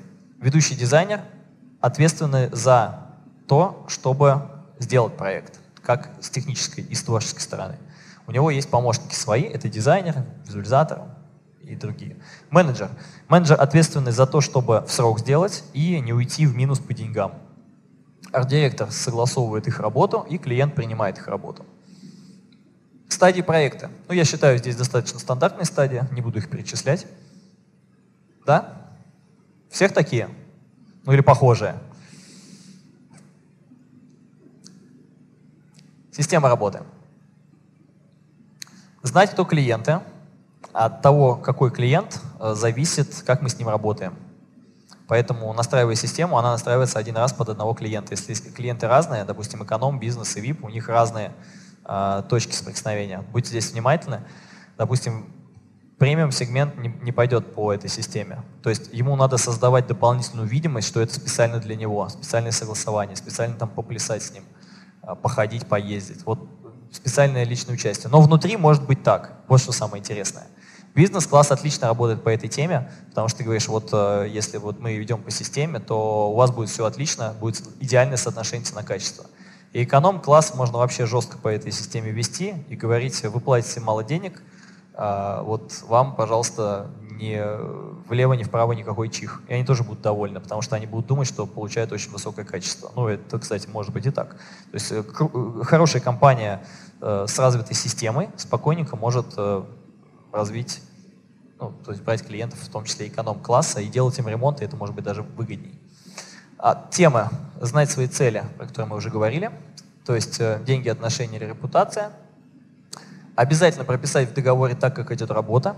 А что такое договор? Договор как раз это и есть наша а, система, по сути, договор ни в коем случае не может быть э, скачанный с интернета. Договор должен быть обязательно такой, как мы хотим работать. И в договоре должно быть прописано не просто, что мы такой-то, такой-то, делаем такую-то квартиру в таком-то объеме, столько-то денег.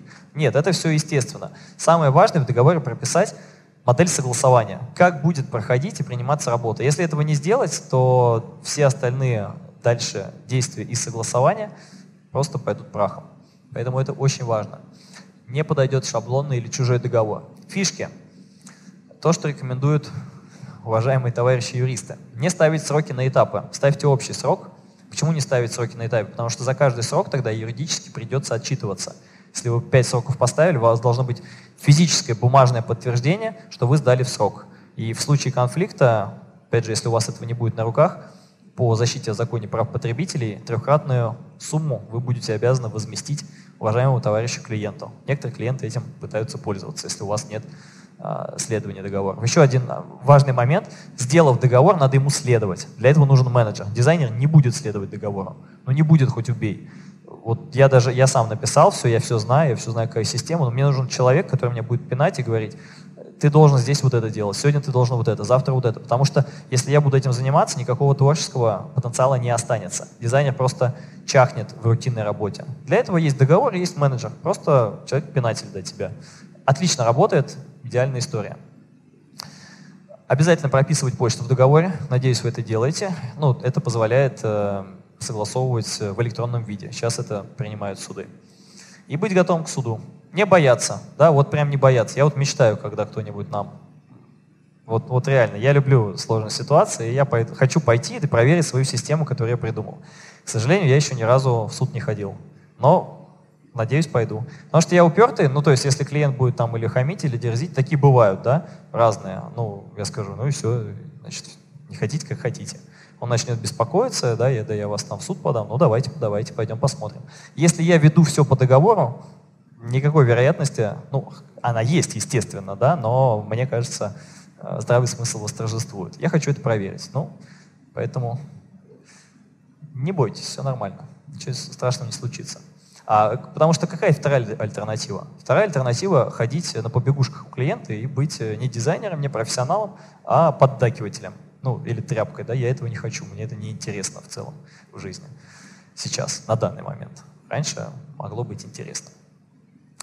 Так, о работе внутри студии. Делать и сделать. Две очень важные вещи, когда дизайнер делает, о сроках, да, вот кто-то спрашивал, что делать, если дизайнер э, сроки срывает? А он не должен срывать сроки, потому что, во-первых, сроки должны включать в том числе и согласование внутреннее. То есть у вас есть внутренний срок согласования и э, срок для показа клиенту. То есть как у нас происходит? К примеру, нужно сдать планировку через там, 7 дней мы ставим, делаем планировку.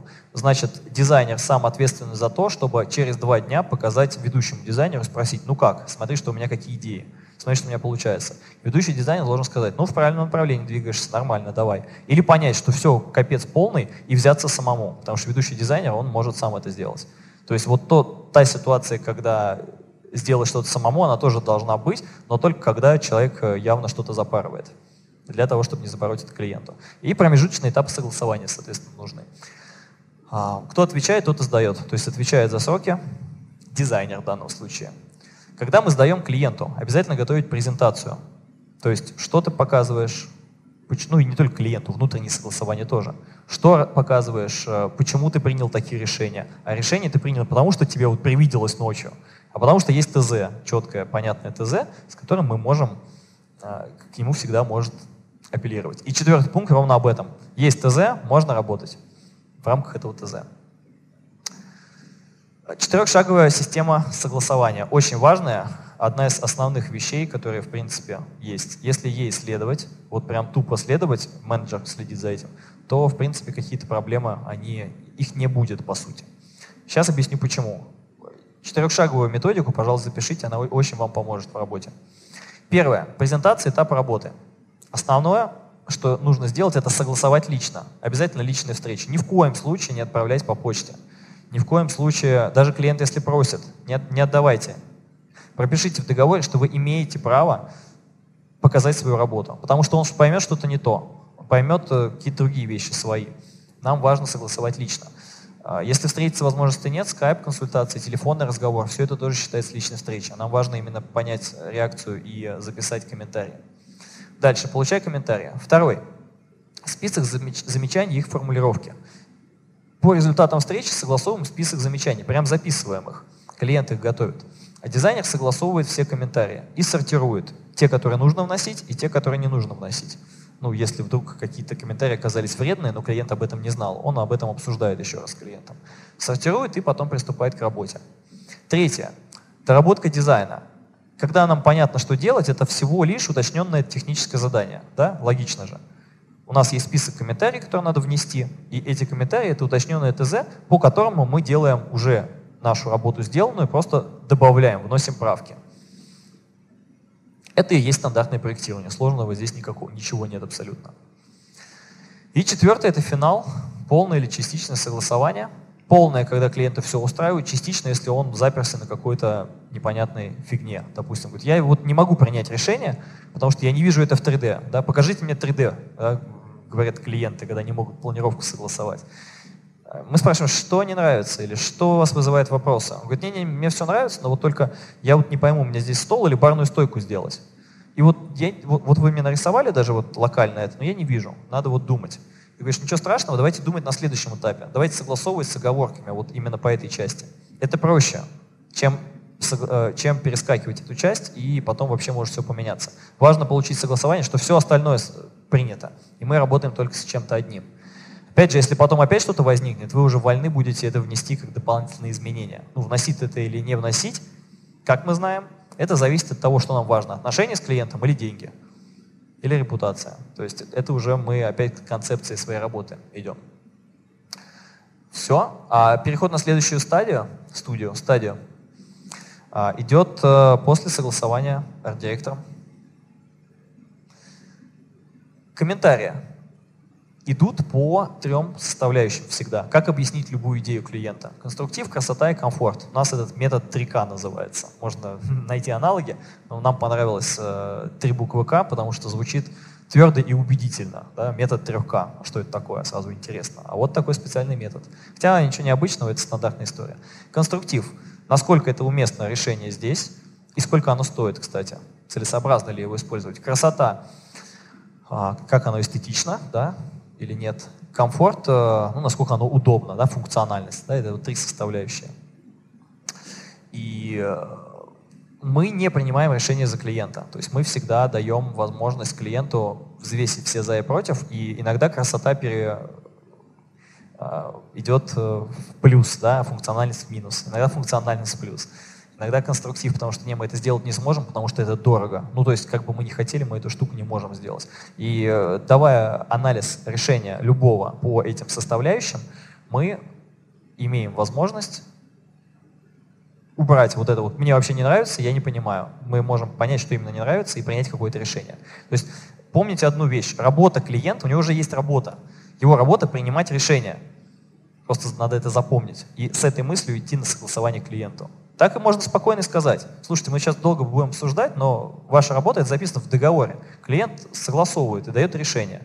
То есть да или нет. А я предлагаю варианты. Моя работа предложить варианты, ваша работа сказать это или это. Поэтому Это нормально. И люди это тоже понимают. Дальше. Зачем работать с арт-директором? Поможет сделать проект лучше. Посмотрит с другой стороны, если глаз замылился. Вот когда мы сидим, в одиночку делаем дизайн, кто-то говорит, я вот дизайнер сам, и сам все должен делать. Глаз замыливается, сам ты много чего не видишь. Мы поэтому всегда работаем в паре. У меня есть э, архитектор тоже, вот э, мы с ним работаем, он мне показывает его проекты, которые он ведет, я ему показываю мои проекты, мы всегда обогащаем. Более того, каждый участник проекта э, имеет возможность внести какую-то свою лепту, то есть внести какие-то свои идеи. Даже проектировщик может понять, сказать, что, ребята, ой, что-то вот тут вот нарисовали 3D-шку, нет, так не получится. И все это проглядели. И это иногда делает проектировщик. Иногда визуализатор какой-то эффект поймал. Вот знаете, что сложно поймать в проектировании? Это отражение и свет. А визуализатор может поймать, сказать, о, давайте тут вот запустим какое-то вот стекло специальное сделаем с отражением через воду, и будут такие зайчики в ванной. Вот как ты это поймешь? Да никогда ты об этом не придумаешь, пока случайно этот эффект не, пойм, ну, не поймаешь в 3D-шке. А получилось, что вот мы на фасаде на одном сделали специально такой противень, и туда солнце, там южная сторона, солнце постоянно падает и идет. И а, от этого противня получается на высокий потолок постоянно идут вот эти вот красивые-красивые каустик-эффект. Это очень клево. И увидели случайно, и потом сделали, и это в жизни все работает. Очень круто. А, и, опять же, для чего поможет арт-директор, то есть вы как главный руководитель, вы вас, своих дизайнеров подтаскиваете, учите, учите. Пока учите, они будут с вами. Это к вопросу о мотивации и о, людях, почему им быть с вами. Так, ну, давайте тут уже, наверное, времени не будет. Это такие особенности. Можете сфоткать, могу прислать потом детали. Это, собственно, по этапам.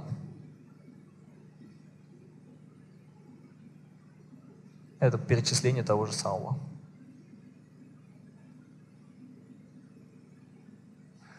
Так, итого 20.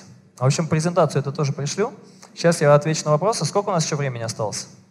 Пять минут? Десять. Окей. Либо отвечу на вопрос, либо сейчас пойдем все отдыхать. Значит, э, я за пользу всегда, да, чтобы не просто послушали. Наверное, кому-то интересно было. Интересно вам еще было? Ну, отлично. Вот. Кто-то уже обедать пошел. Ну, я же не знаю просто.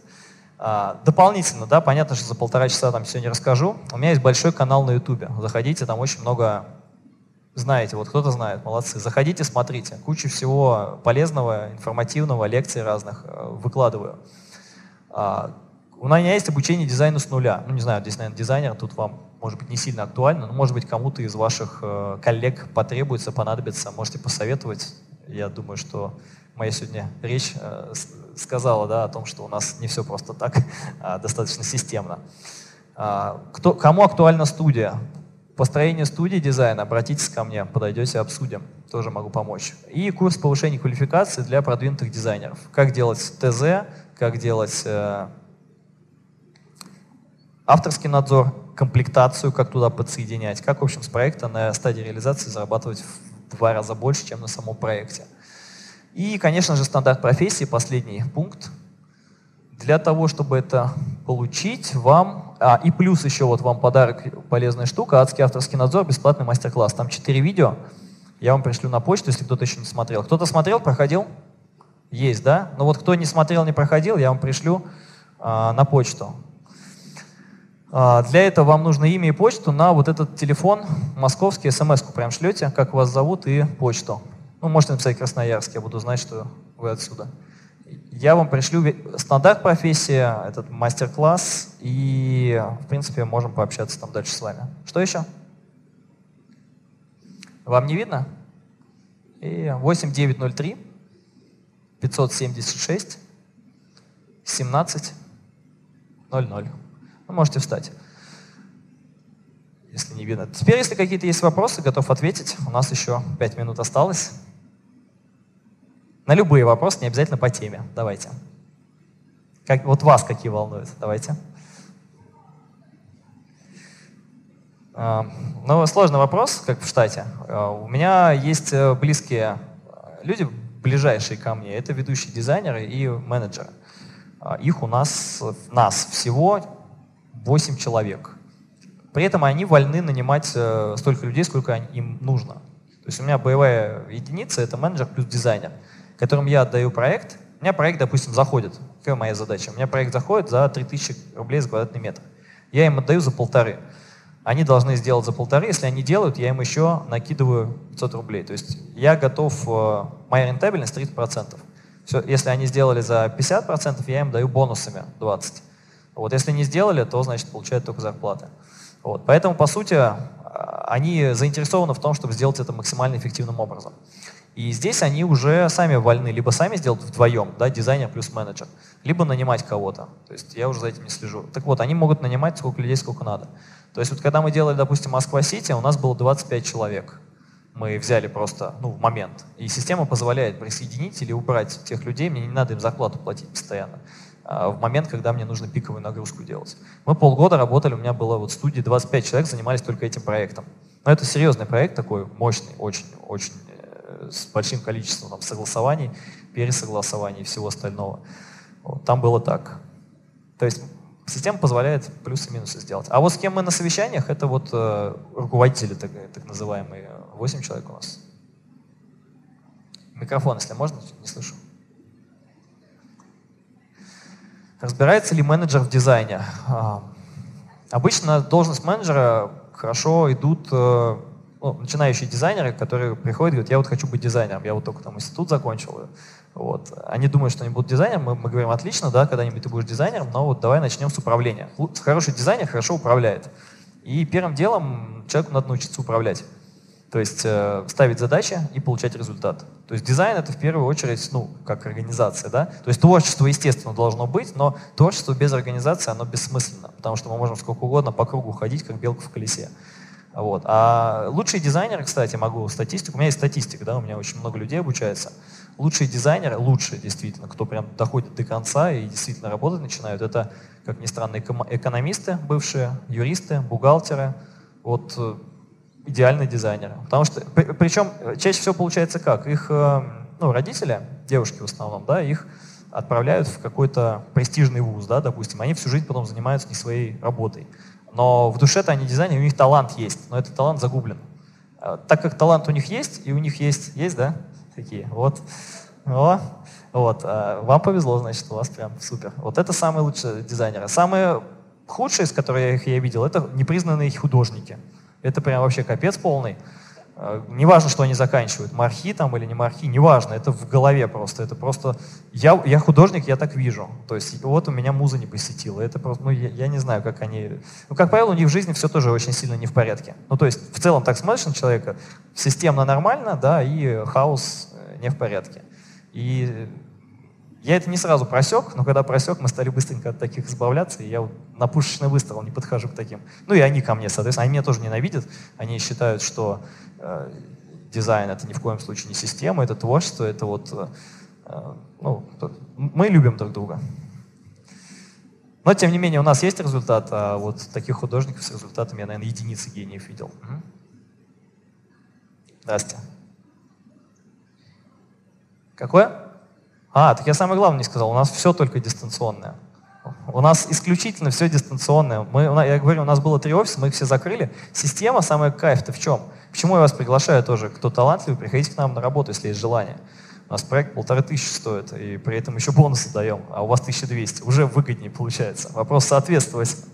Вот. И у нас проектов много, интересные. Вот. Но э, мы работаем в системе, поэтому первое, что нужно, это выучить систему. То есть как, как, как с кем общаться. Мы работаем в команде. Да? Первое, это в команде абсолютно необходимо иметь точки соприкосновения и стыковки между там, вашим э, коллегой. То есть это, это очень важно. Это надо ну, в себе воспитать, это работает.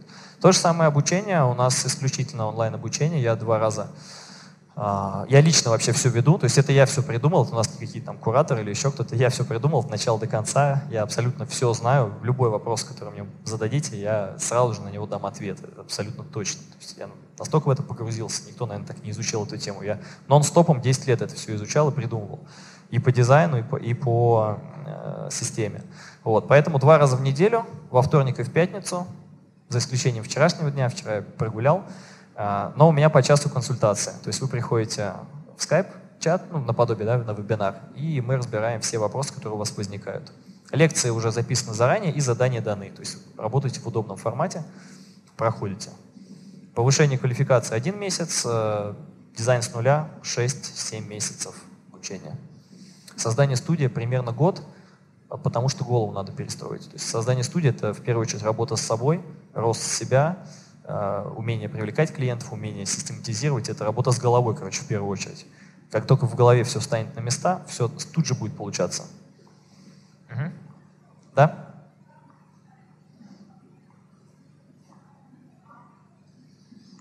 совместное у нас авторство. У нас никто не парится по поводу авторства. То есть мы пишем всегда в проектах, кто их делал. Пишем, пишем проект студии Станислава Орехова, участвовали. Там такой-то, такой-то, визуализатор такой-то, такой-то. У меня, допустим, мы делали в Магадане удаленно офис э, Кинрос компании, золотодобывающая.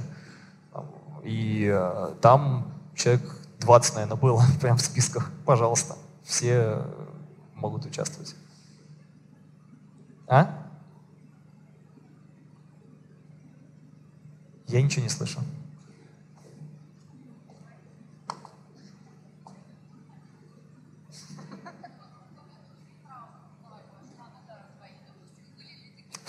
Я понял. Это тоже у нас прописано. У нас, как вы понимаете, все прописано. В договоре, конечно, с сотрудником, естественно.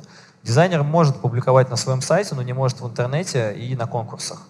То есть мы публикуем в интернете и на конкурсах, но он может опубликовать у себя на сайте или там, в Инстаграме личном, да, не профессиональном. А, указав, что, естественно, что он это делал, и указав всех остальных участников. То есть, ну, не только себя. Да, это у нас можно сделать, конечно. Но на конкурсы выкладывать нельзя. Потому что, ну, это неправильно будет, если мы...